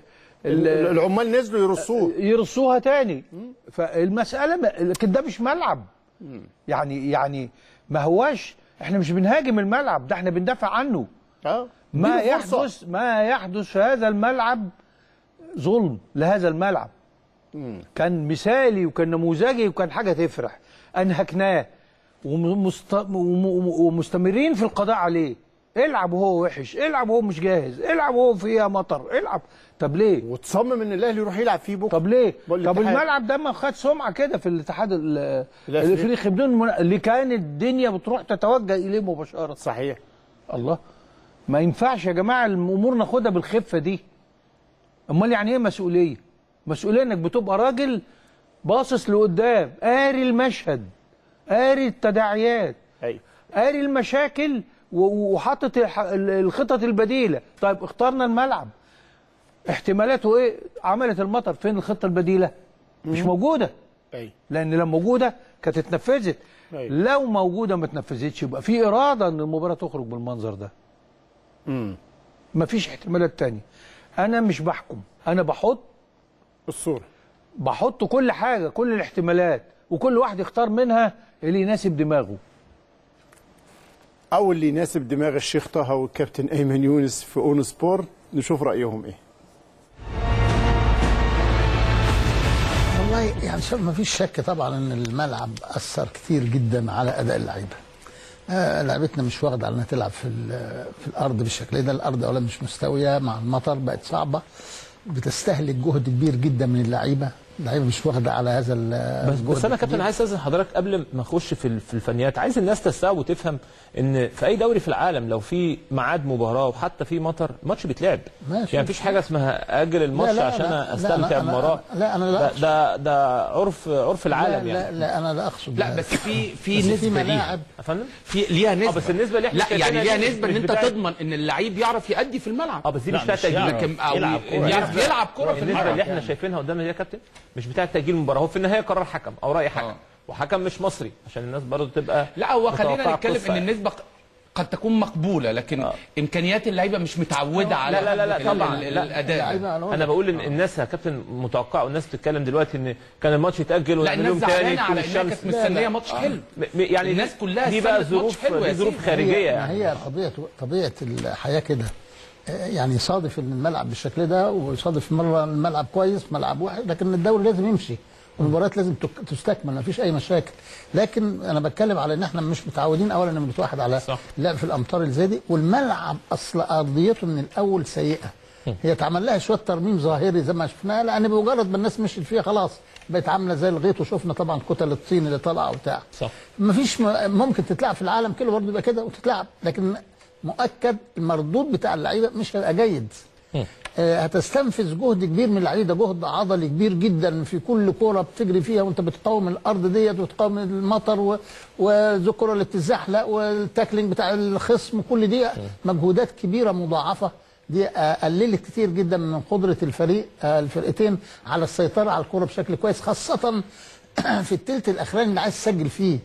يعني آه ممكن لو بدافع آه بخبط يعني بشيل حضرتك برضو نقطة إن الأجواء دي موجودة في العالم كله آه آه، موجودة في آه، العالم كله موجودة. بس الملاعب في العالم كله. غير. بالظبط. الملاعب في. العالم كله. مؤهلة للأجواء دي مصممة كده. الملعب مش مؤهل للأجواء يعني. إحنا لعبنا مرة في بصراحة إندونيسيا يعني. إندونيسيا الملعب بيعملوا إزاي تحت بيتحط أرضية ويتعمل فيها مثلا إسمنتية وفي قنوات فيها بتسحب المية على تصريف طول. وبعدين بيتحط كتل الطين ده اللي موجودة. الأمطار طول الليل شغالة. الصبح نزلنا الملعب ما فيش ولا نقطة مية لأن المية كلها بتصرف. ال- ال- المسارات اللي موجودة تحت دي القنوات بتصرف وتعمل تصريف. لكن هنا ال- الكرة المية في ال- في الطين على طول. فدي حدت كتير جدا. شوف اتحاد الكرة المسؤولية واضحة. ما بحبش إن الناس عايزة تدافع لاجل ان هو الاتحاد متهم الاتحاد مسؤول. والادعاء بانه ما هو بره في اوروبا بتبقى في ظروف مناخية اصعب من كده ومطر اشد من كده والدوري بيكمل والماتشات بتتلعب. صحيح. بس زي ما الكابتن ايمن يونس قال له ما الملاعب مش بهذا الشكل. رقم اتنين الامطار ما كانتش في كل مصر. لو انت عايز تتكلم إحنا زي اوروبا في تخطيط علمي مسؤول. في تخطيط علمي مسؤول. الأرصاد الجوية ومواعيد النوات في هذه المنطقة ثابتة تاريخيا وما بتتغيرش. وانت بتحط جدول مفترض. ما دمنا عايزين نتكلم في أوروبا والدول المتقدمة. دي ناس بتشتغل بالعلم والدماغ مش بالفهلوة ومش بالدفاع عن الباطل. لأنه وانت بتحط جدول 30 مارس في المنطقة ديت هنا في نوة. أنا هعمل إيه؟ حصلت أمطار بره جدول النوات ليكن. ماشي. عملت إيه؟ مصر مش كلها كانت غرقانة. المطرة ما كانتش في عموم مصر. ده أنت رحت للمطرة في بيتها. اخترت المنطقة البؤرة ورحت لها. ورحت للملعب ورحت اللي للملعب بيعاني. اللي لسه عيان بيتعالج. اللي محتاج وقت كافي علشان يتعافى. اللي مجهد جدا بسبب إن إحنا دوسنا فيه جامد جدا. شال الكرة المصرية لفترات طويلة. لكن حقه إنه ياخد وقت كافي من ال- إن هو يتصلح والصيانة بتاعته. مش مش 10 أيام كفاية عليه وأرجع أحفره تاني في غيط البطاطس اللي حصل ده. ويتقال لك أصل أوروبا. لا كان عندك بدايل كتيرة جدا والجدول ينتظم. تنقل خطوتين تروح الماكس. لو مش عايز تروح الماكس تعالى القاهرة. روح الصعيد روح السويس. في مباراة أصلا بدون جمهور. أجل أجل للفرقتين. لا، حتى لو اللي طالعين أفريقيا. يا يا باشمهندس، أستاذ حتى- إبراهيم عشان خاطري. حتى لو عايز ينتظم. ينتظم. لا دلوقتي دي معناه عارف معناه إيه؟ آه. معناه إيه؟ أنا البطولة الأفريقية مش في دماغ ال- الاتحاد ده بالنسبة للفرقتين. لأن أنا ما أخدش فرقتين أخلص عليهم بالمنظر ده قبل ما يلعبوا لقاءاتهم الإفريقية. الاثنين بالصدفة لهم مصلحة فنية وبدنية في تأجيل المباراة. طيب أنا مصر علشان أكمل الدوري لأسباب كتيرة جدا من ضمنها حقوق الرعاة. ماشي. تمام. أروح انقي الظرف اللي يناسبني. ما أقولش إن بره بيلعبوا في المطر. هو ده بتلعب في المطر مضطر. بره كل المناخ مطر. على رأيك منين ما هيروح هيلاقي مطر؟ أيوه. طيب بس هم بقى اولا متأقلمين. طب ما هو بره انت بتقول مطر ما الناس بتنزل شغلها. عادي وتبقى درجة الحرارة تحت 40 تحت الصفر و30 تحت الصفر. والحياة مهيئة. الحياة مهيئة كده. هو مخلوق يعيش في الظرف ده. بالظبط بالظبط. لكن انت مخلوق تعيش في ظرف تاني. مش ده. واخد بالك؟ فهو بالنسبة له إن هو زي ما يجي يروح يلعب في مثلا في الطوز ولا في الحر الشديد جدا اللي هو بيبقى مغبر ومشبر ده.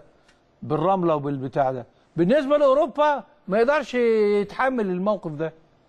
هنقول له ما هو كل ال- العرب بيلعبوا في في في درجة الحرارة دي. أيوه. هو هو ابن هذه البيئة. ابن هذه البيئة. لكن وفي نفس الوقت عشان هو ابن هذه البيئة بيعالج كل السلبيات المتوقعه والمحتملة. بيجي على الملعب يعمل له صفاء. ده بيعمل سخانات. يعني أنا أنا أنا لما رحت إيفرتون لا أنت شفته إحنا في اليابان؟ آه بيعمل سخانات في النجيله علشان آه. التلج لما ينزل. آه آه. بيسخنوا الأرض. يعني يوم التلج يسيح ويتشفط على طول في المصارف. ما تجيش تقول لي بقى أصل بره بي... أيوه بره كده بره. وبعدين بره الكلام ده لو أنت مضطر لو ما فيش غير الملعب ده. لو المناخ ده في سائد في أرجاء الجمهورية. بتلعب ماتش بدون جمهور. ما انتش ما, ما انتش ما هي دي النكتة. يا أخي العبوا على ملاعب السعودية. دي النكتة. هقول لك إيه بس. دي النكتة فعلا. ده أنت تقدر تروح تلعبوا على ملعب مدرسة. أي ملعب ناشف هيكون أحسن مدرسة السعديه عندها ملاعب في في في جامعة القاهرة. أي حتة روح العبوا. العبوا في ملعب كويس. في مناخ معقول بدم تملك دي. هو أنت بدم تملك تريح الناس. بتتعبهم ليه؟ إيه الغرض في إنك تتعب الفرقتين؟ أو إنهم تخلص من حساسية الماتش. اهم الاثنين يخشوا يعجلوا شوية في الطم. دي بتفرجني بتفكرني بالمصارعة في الوحل اللي بتشوفها بينزلوا الناس في الوحل ويدهنوا جسمهم طين والجدع اللي يمسك التاني بقى. فيقعدوا تقضي الوقت كله في زحلقة وفي في ومفيش مصارعة قدامك. وأنت عارف إن ده اللي هيحصل. نشوف رأي الكابتن علاء نبيل.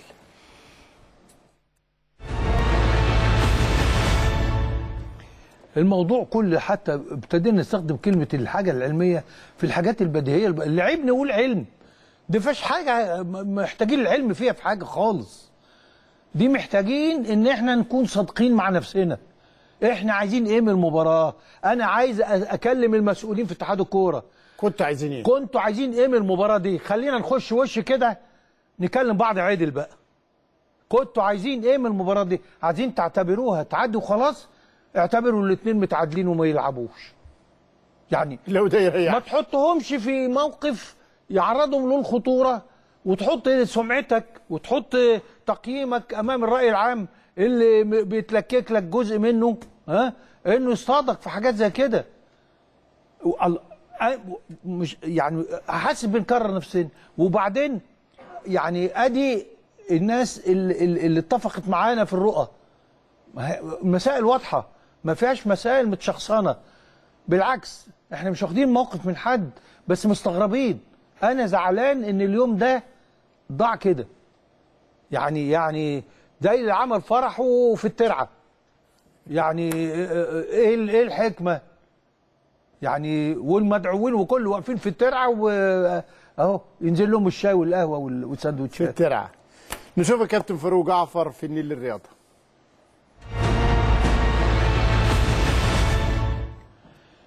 من المرات القليلة جدا اللي بختلف مع الكابتن فاروق جعفر. لأنه مناقشة الأمر وكأن الظروف طبيعية فما فيش حد في حالته ما فيش حد يقدر يكون في حالته. حالته يعني هو في ملعب في حالته وجو في حالته عشان اللعيبه يبقى في حالته. مش ممكن. يعني أنت تجريني على صابون وتقول لي أنت مالك ماشي على؟ طراطيف صوابعك آه. وبعدين لما تزحلق تقول لي أنت كل خطوة هتتزحلق لي. إحنا شفنا لقطتين اللعيبة لوحدها في الملعب ما حدش معاها وبتتزحلق. يعني رمضان صبحي في وسط الملعب بيزق كرة كده وراح إيه واقع على الأرض لوحده. مفيش حد جنبه على بعد 10 متر في كل اتجاه. أيوه. وتكررت تاني في لقطة أخرى مع لاعب آخر. ف يعني يعني واضح ما حدش يقدر يكون في حالته. ما حسيناش بالمهاجمين. طب المهاجمين دول مش عايزين إمداد مش عايزين أوفرات مش عايزين لعب جماعي مش عايزين نقلات. مش عايزين تحضير. كل ده كل ده هيتم على إيه؟ على ملعب. على سطح. سطح يقدر تتحرك عليك كوره لكن أنا أكتر واحد بقى بجد يعني عايز أقول له ليه كده خالد؟ لا يا كابتن خالد, خالد يا كابتن خالد أنت بتتكلم يعني أنت كما إنك أنت مالكش دعوة بالموضوع خالص. اللعيبة والملايين اللي اتدفعت طب أنت وأنت عضو مجلس إدارة شفت الملايين اللي مدفوعة في اللعيبة دي حافظت عليها؟ أنت حافظت على مين؟ يا عضو مجلس الإدارة يا كابتن خالد. أنت بتقول الملايين اللي في الملعب ما عبرتش عن نفسها. لا ده الملايين اللي في الملعب دي كويس قوي اللي محدش منهم متعور والا كلكم كنتوا هتبقوا أمام الرأي العام في موقف حرج جدا. أكتر من كده؟ آه طبعا. تخيل لو لعيب جاله كسر مضاعف ولا ankle رجله اتقطم ولا جاله صليبي. مين اللي كان كان في حد هيسكت؟ لا الجمهور كان هيسكت ولا ال social media كانت هتسكت ولا المسؤولين في الأندية. ولا هتفرق آه لا, ولا لا هتفرق. مع- مش هتفرق ده شيء تاني. آه. انت تعودك انك انت تسمع الكلام ده وتطنشه ده ده يخصك. مهندس أكبر حاجة أكبر خطأ ارتكب إنك انت طلعت الصورة عن الكرة المصرية كده بره ما أنا بقول لك. والناس ما حدش. حس بال, بال أنت بتقول بره آه طبعا. طب لو حصل إصابات بقى لو ال- ال- ال- الرجل المرفوعة دي جت في في في منطقة ممكن تأذي قوي. الرأي العام الخارجي بقى كان هيصطاد الكره دي ولا مش هيصطادها؟ طبعا. هو أنت فاكر يعني إنك آه، آه، يعني اللي بيرصد ظروف المباراة بسلبية ما هيدور على الأحداث السلبية اللي جواها. أنت اديت فرص لناس صحيح. آه، تهاجمك. تغمقتها قوي. نشوف رأي الكابتن عماد متعب.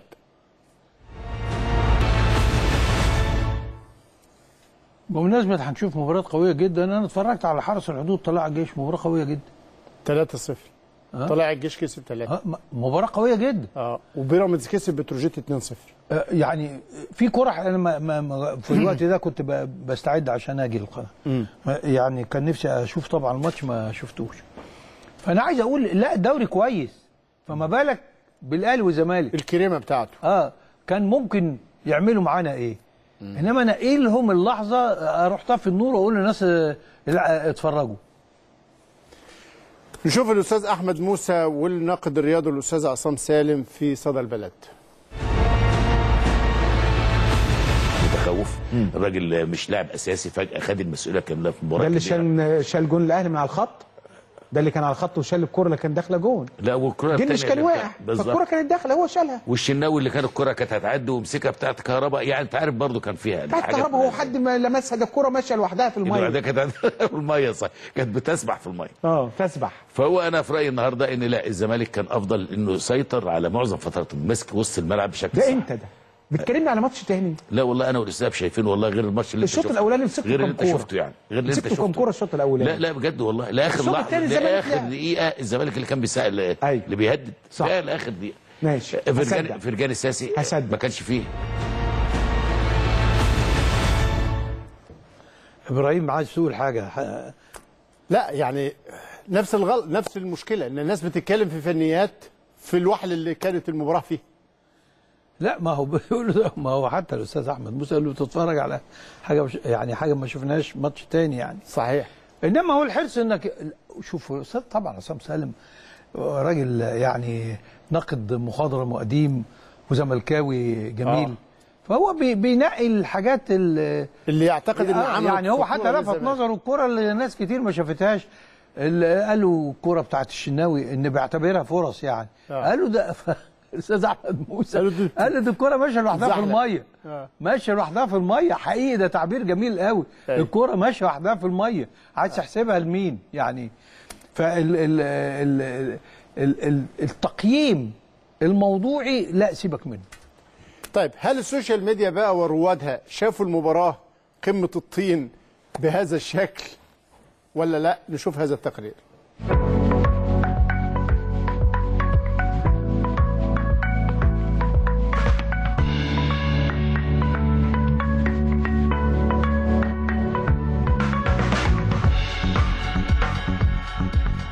أداء متحفظ وتعادل سلبي فرضته أجواء مناخية ماطرة على قطبي الكرة المصرية وذلك خلال لقاء القمة 117 معه رأي الخبراء وجماهير السوشيال ميديا بأنه لم يكن في الإمكان أبدع مما كان. عبر عن ذلك الخبير الكروي محسن صالح مغردا لا تسألوني عن مستوى ده كان سباحة ولعب كورة في الهواء. نفس الرأي لنجم الأهلي السابق شريف عبد الفضيل. الملعب يجبر اللاعبين على التعادل السلبي. أما الفنان نبيل الحلفاوي فكتب معلش يا جماعة أنا شايف إن أي كلام في ماتش النهاردة يعتبر من قبيل العبث. فيما غرد المحلل الكروي خالد بيومي برأي فني ختمه بالقول مطر جديد علينا خال الأسارتي أرضية الملعب فرضت الأداء والمستوى الفني. وكتب جروب عشاق الأهلي اتحاد الكرة غرق القمة وأحبط المشاهدين بفيلم جحيم تحت الماء. كل العذر لجميع اللاعبين. ومع إقرار الجميع بتأثير الأجواء المناخية يتحول جروب نادي القيم والمبادئ إلى دعم الفريق رجال الأهلي قادرون على الحصول على الدوري إن شاء الله. يوافقه جروب الأهلاوي الواعي. مباراة وأجواء صعب تقيم فيها أداء أو مستوى لكن الدوري لسه بدري والقادم أفضل معاك يا أهلي. يتناغم جروب أهلاوي وأفتخر مع نفس الاتجاه. الدوري في الملعب. كنا ممكن نكسب وما حصلش نصيب. فرقتنا ماشية بشكل كويس. يستمر التناغم من جروب عائلة الأهلي. الأهلي لم يحالفه التوفيق لتحقيق الفوز في أجواء مناخية غير طبيعية ليتأجل الحسم ويخرج الزمالك سعيدا بالتعادل. تنتقل الجروبات لدعم الأسارتي وعدد من اللاعبين فيظهر صوت الأهلوية الأسارتي عمل اللي عليه وأزاره معذور والمعلم صالح لازم يلعب. ويتحدث جروب مع الأهلي دائما وأبدا بتحليل طويل يختمه بتحد أهلاوي الدوري أهلاوي رغم أنف الجميع. مع العودة إلى تويتر تكتب الفنانة ندى بسيوني أجمل ما في اللقاء الروح الجميلة بين اللاعبين. لسه الدوري طويل. يوافقها نجم الأهلي الغائب للإصابة محمد محمود مغردا بنبرة ثقة الدوري أهلاوي. نختتم جولتنا مع وائل جمعة صخر الدفاع الأهلي السابق الذي أبدع اعتراضه الضمني على غياب الجمهور الأهلاوي عن اللقاء فغرد قائلا بدون جمهورك زيك زي غيرك. بالتوفيق في اللي جاي يا أهلي. إحنا بنقفل وداخلين على اللحظات. بكرة الأهلي والاتحاد. معلش لحظة واحدة بس. مم. الأهلي لماذا يشعر بالغضب؟ وجمهوره يشعر بغضب رغم إنه ما خسرش المباراة ورغم ان فرصه في الدوري فرق نقطتين و- والحظوظ قائمة بشكل قوي. لأنه. كان عاول على هذه المباراة ها؟ وجاهزيه فريقه والحالة المعنوية اللي كان فيها وكانت آه، آه، آه، يعني نقول 60 40 للأهلي قبل المباراة. آه، خلاص نطوا الصفحة. عندنا ماتش بكرة. هل كلنا اتعلمنا؟ هل اتحاد الكورة إذا تكررت الظروف هتتكرر قرارات ولا هو راح راح استاد برج العرب؟ واخد بالك؟ برغم كل ما قيل. ده ده بو ده راح برج العرب بعد ما باظ. أيوه. يعني بعد ما باظ أكتر. آه. لأن أنت لما بتلعب على ملعب بيتصلح في ظل كل هذا الماء آه، بي- بيبقى حفر يصعب ترميمها والغريب يتقال ده لتكافؤ الفرص لأن الزمالك لعب مع الاتحاد في برج العرب فالأهلي لازم يروح برج العرب. طب الزمالك لما لعب ما دمنا إحنا شماعة تكافؤ الفرص اللي بيعلقوا عليها كل حاجة. مطر. طب الزمالك لعب مع الاتحاد ما كانش كان الملعب سليم ما كانش فيه مطر. وكان رجع كويسة. اللي كان. لا وكان حالته من كام شهر عاملة إزاي؟ لكن هو نوع من المضايقة وخلاص. أدي حالة الملعب ساعة لما الزمالك لعب عليه. طب رجعني يا عمي شهر ونص. طيب عايز كانت في يناير. ألعب في الملعب ده ألعب في ده. ماليش دعوة ما العبش في التاني بقى. آه، ما- ماليش دعوة اسمه إيه. في تم إيه؟ آه، أنت تسميه بقى سم- زي ما تسميه. عايز ألعب في الظروف دي. عشان الأهلي ما بيعترضش. لكن الناس تمسك في كلمة لا تكافؤ الفرص وكأنه في الاسم مش في الحالة. قيس على ذلك كتير قوي لما قال لك الأهلي لازم يلعب مع بيراميدز قبل ما يلعب الزمالك. والزمالك قال لك الأهلي لازم يلعب ماتشاته قبل ما يلعبني. أهو الزمالك لغاية دلوقتي ما لعبش لعبش مع الإسماعيلي. آه والاهلي ما اتكلمش لأنه مش فاضي. دمتم للاهلي دائما ودام لكم الاهلي بإذن الله تعالى بطلا شامخا وعلى خير نلتقي مساء الخميس القادم إن شاء الله. تصبحوا على خير.